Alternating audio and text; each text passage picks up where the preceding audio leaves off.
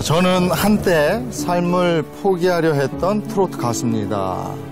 일본에서의 안정적인 삶을 뒤로하고 귀국해서 뛰어든 사업은 온갖 소송과 빚만 남긴 채 망해버렸고 갈 곳이 없어 찜질방과 공원 벤치를 전전하면서 노숙자 생활을 하던 저는 세상을 등지려고까지 했습니다.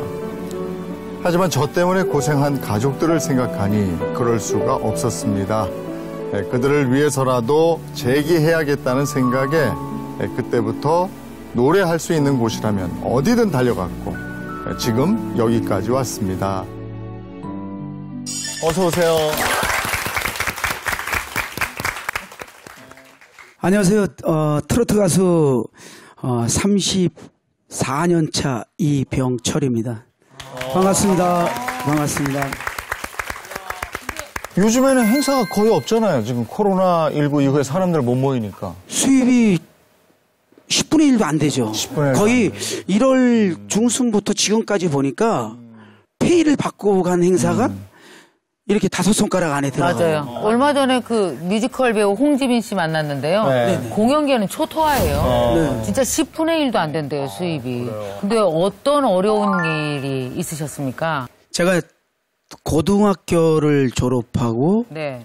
어, 음악 공부를 하기 위해서 이제 일본을 갔어요. 일본에 가서 이제 실용 음악을 전공하고 그러면서 이제 노래를 하면서 가정도 꾸리고 지인을 좀 돕기 위해서 네. 한국에 나오게 돼요. 우연히 그 해보지도 않은 그 빌딩 짓는 건설 사업을 하게 돼요. 아. 근데 저는 준비도 안돼 있는 상태고 평생 노래만 해왔고 그러다 보니까 너무 아무것도 모르는 상태다 보니까 그 준비하고 하면서 쫄딱 망했어요. 완전히 다 날리고 그러다 보니까 이제 가족들도 다 떠났고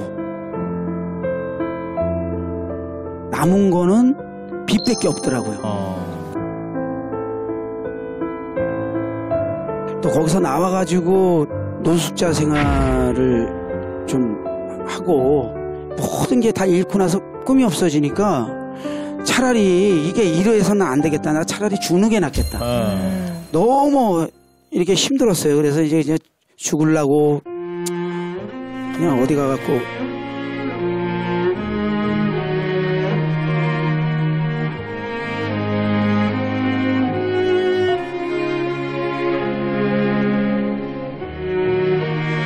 죽을라고 하니까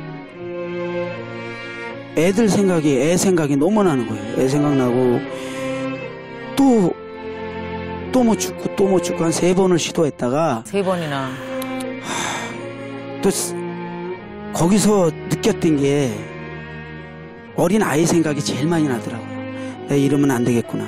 또 내가 죽음으로써 음. 다 어떻게 하나. 제기를 해야 되는데 막 이런 생각이 이제 하게 되더라고요. 네. 그래서 그럼 다시 한번 살아보자. 이런 마음을 딱 먹었어요.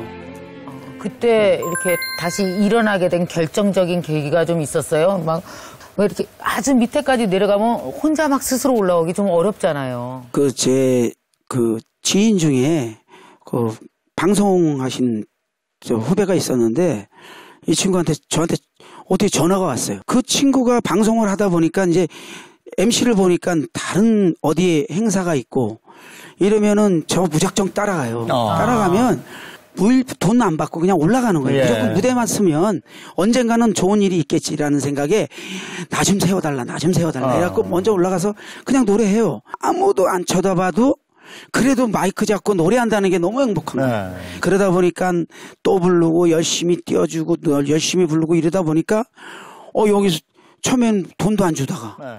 거기서 또 불러줘요. 어. 그럼 20만 원도 받고 가고 30만 원도 받고 네. 가고 이러다 보니까 모든 많은 분들이 막 불러주기 시작하더라고요. 음. 그래서 그러면서 많이 할 때는 하루에 한 12개씩도 하고 어, 행사를. 어. 아, 그러니까 여기저기 옮겨 다니면서 그래서 열리는데 12개를 할 수 있는 게 12개를. 그 뭐 마라톤 행사다. 야. 뭐 이러면 그때 이제 시작해. 마라톤 있지. 또 조금 아침- 옆에 가갖고. 예, 또 경보 행사 또 해. 네. 그리고 또, 또 옆으로 건너가갖고 네. 또 옆으로 가면은 이제 거기 이제 기업 행사들 이제 조금 이제 아니, 농기구 얘기- 축제 막 이런 데 한 누구 얘기 11시 들어봤더니 면. 아침에 하는 새 약수터 행사도 있대요. 아, 있어요, 있어요. 아직도 내가 이루고 싶은 뭔가가 있을 것 같아요. 어떻게 보면 진짜 파란만장하게 살아왔잖아요. 네. 그리고 진짜 죽음도 몇 번을 이렇게. 어떻게 택하려고 막 그렇게 살다 보니까 아무리 이렇게 어려워도 그때만큼 힘들지 않은 것 같아요, 지금. 네. 아. 그러니까 그 꿈을 위해서 어. 너무 행복한 거예요. 저를 불러주는 사람만 있어도.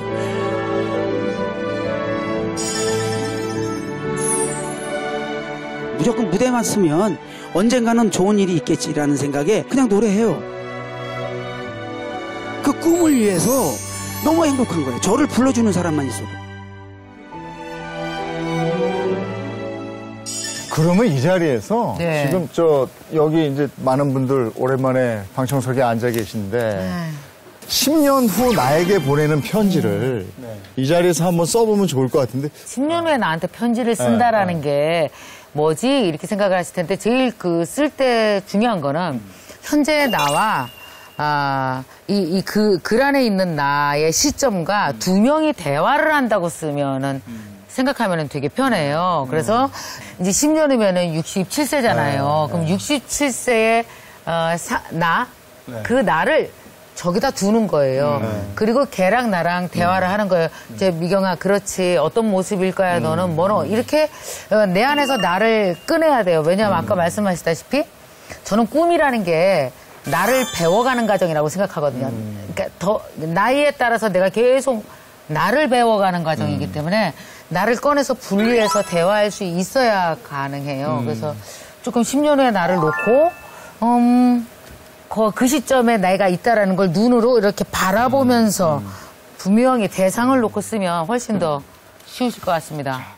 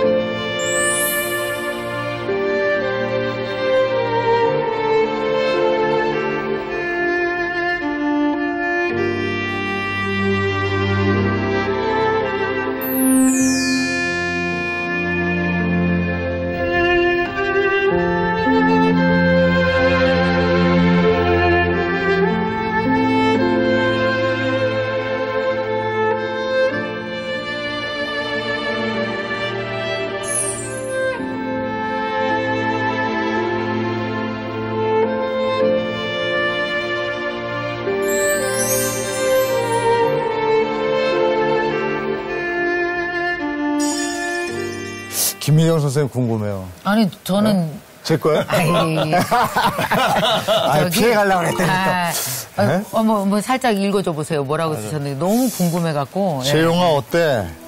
2030년 괜찮니? 너 벌써 65세 됐겠구나. 건강하지? 방송은 어떠냐? 아, 최근에 좋은 토크쇼 하나 맡았다는데 잘 되기 바란다. 어. 2030년에 재용아 10년을 더 살아내느라고 고생 많이 했다. 나름 보람도 컸겠구나. 내가 다시 2030년에 가서 2040년에 재용이 너한테 편지 보낼게. 그때도 건강하게 굳건하게 잘 지내고 있어야 된다. 그때 이제 걱정하지 않아도 될 만큼 성장한 막둥이 태호의 모습도 확인하고 싶다.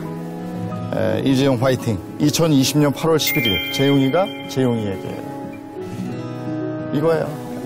아니 좀 이렇게 아유 이게 내 편지 한 번 아 예. 네, 읽어주세요. 음악 잔잔하게 깔아드릴까요? 아 나오니. 네. 옥순아, 10년 후에 나는 꿈을 가지고 살고 있겠지? 나는 늘 그래왔듯 꿈을 가지고 살고 있었어. 10년 후에 나는 27살의 딸과 17살의 아들, 남편과 행복하게 살고 있다고 믿고 싶어. 지금 가야 할 길도 멀고 해야 할 일도 많지만 그때 그 순간에 가면 난 잘해오고 있다고 안아주겠니? 긍정으로 살고 긍정으로 버틴 척 하지만 난 요즘 많이 힘들거든. 그래도 난 옥순이니까 열심히 살게. 우리 그때 만나자. 2020년 8월 11일 옥순이가 2030년 8월 11일 옥순이에게. 아 유 참. 그렇게 착하게 좋은 영향을 끼치면서 살고 싶다고 늘 꿈을 키우면서 산다는 말이 예. 너무 좋으네요. 예, 애쓰셨어요. 어. 네. 이 10년 후의 나를 선생님 상상해 보니까 배경이 떠올랐어요. 안 그러셨어요, 다들? 그냥 이렇게 아무것도 없는 배경 없는데 내가 있는 게 아니라 근데 어, 제가 어디 있었는지 알아요? 어디 계셨어요? 나는요, 이렇게 주택에 꽃이 많은 화단에 내가 앉아 있었어요. 어. 무슨 신내린 듯. 거기서 뭐 하고 아니, 진짜 계셨어요? 봤어요. 뭐 하고 그러니까 계셨어요? 느낌이 그런 날을 상상하면서, 그러니까 10년 후엔 내가 그럴 거라는 거죠. 이렇게 막 많이 바쁘지 않게. 그래서 저는 이렇게 썼어요. 67세 미경이에게 존경하고 기특한 나 김미경에게 오늘은 뭐 했니? 오늘도 역시 네가 원하는 하루를 보냈겠지. 또 애들하고는 잘 지내지. 손자 손녀가 많이 생겼겠다. 지금 나는 57세에 있어. 매일매일 열심히 의미 있는 날을 만들려고 살아. 기다려. 내가 매일 네가 원하는 가치, 네가 원하는 행복을 만들어서 네가 있는 곳으로 내가 가져다 줄게. 지금의 나는 10년 후에 너에게 매일 선물을 주듯 살 거야. 뭐 필요한 거 없냐? 내가 갈 때 가져갈게. 단단한 마음, 여유 있는 웃음, 또 다른 사람과 나눌 수 있는 풍요로움. 절대 나는 너를 빈곤하게 하지 않을 거야. 넌 역시 또 꿈이 필요하겠지. 67세 그 꿈까지 내가 잘 창기해서, 잘 챙겨서 가져갈게. 건강하게 웃고 잘 지내고 있어. 그리고 부탁 하나 할게. 되도록이면 지금의 내 모습과 크게 차이가 안 났으면 좋겠다. 그렇습니다. 지금의 모습에 만족을 하고 계시니까 그 잘 제가 가꿔서 더 10년 후에 발전된 모습으로 제가요 여기 앞에 좀 오바라고 생각을 해서 이걸 쓸까 말까 했어요. 나를 뭐라고 부를까? 사랑하는 김미경에게 뭐 이렇게 했는데 존경하고 기특하다고 한 건 사실 이렇게 어려운 시기 또 10년 살아내는 것 자체가 우리 다 존경받을 만한 일이거든요. 그러니까 10년 이렇게 애 키우면서 50대, 60대 이 경제적인 상황, 이 코로나에서 생존과 싸우는 상황, 새끼 밥 먹고 10년 더 사는 게 엄청 큰일하는 거예요. 네. 고명 씨는 어떠셨어요? 오늘 함께 하시면서. 저도 여기 와서 용기를 많이 받았습니다. 아, 네. 힘들어도 힘들어도 반드시 다들 파란만장하게 살아오셨지만 결국은 찍고 또 올라오시는구나. 그래서 어, 용기를 많이 얻는 하루였습니다. 네. 애니메이션 중에서 은하철도 999 네. 다들 네. 보셨죠? 예. 거기에 이런 말이 있어요. 자신의 미래를 믿는 사람은 타인의 삶을 부러워하지 않는다는 얘기가 있거든요. 정말 우리는 그 만화에 그렇게 대단한 얘기가 있었어요? 얘기예요. 메테리한 얘기예요. 아. 철이한테? 그렇죠, 처리 안 그래서 처리가 나중에 기계인간 안 되는 거예요. 그래서 우리가 다 자기 삶에 대한 기준, 자기가 어떤 삶의 가장 뭐 중요한 점 이걸 가지면 굳이 남 신경 안 쓰고 야. 살면 더 즐거울 것 같습니다. 네. 예. 허기영 네. 원장님. 네, 저도, 저도 정말 비슷한 얘기인데요. 오늘 변화 그리고 목표 뭐 이런 얘기들 했는데 너무 큰 목표 가지려고 하다 보면 네, 뭔가 되게 부족한 사람 같고 되게 힘들어지거든요.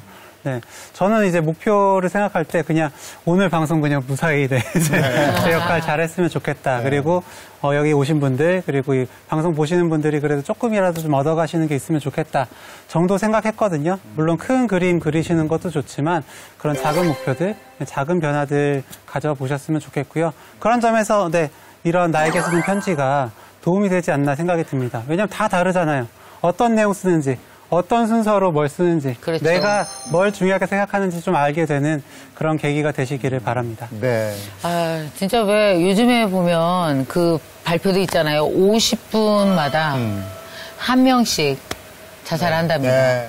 결국은 왜 자기 생을 놓게 된다라는 건 더 이상 자기로부터 끌어내는 걸 포기를 하는 순간이잖아요.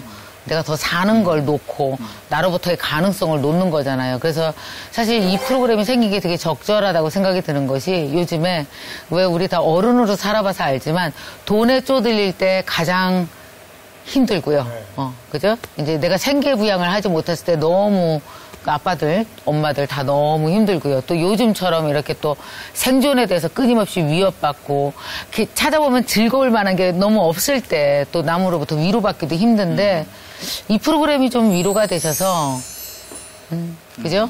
그런 마음, 어, 독한 마음 먹지 마시고 풍요로운 마음 가지시고 좌절하는 마음 갖지 마시고 한 번 더, 한 번 더라는 마음 가지시고 그리고 미래에 대해서 아, 별거 없어 아니고 아니야 뭔가 있어 라는 생각을 갖고 가신다면 분명히 우리에게 또 다른 어, 행복한 기회들이 많이 있을 것 같아요.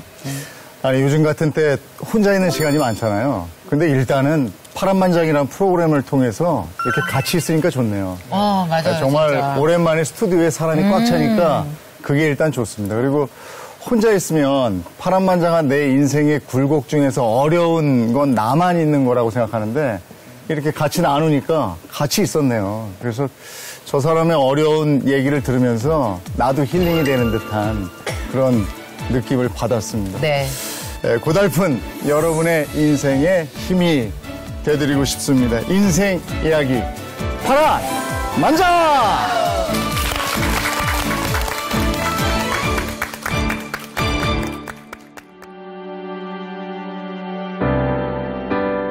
갑자기 아버지가 사라지신 거예요.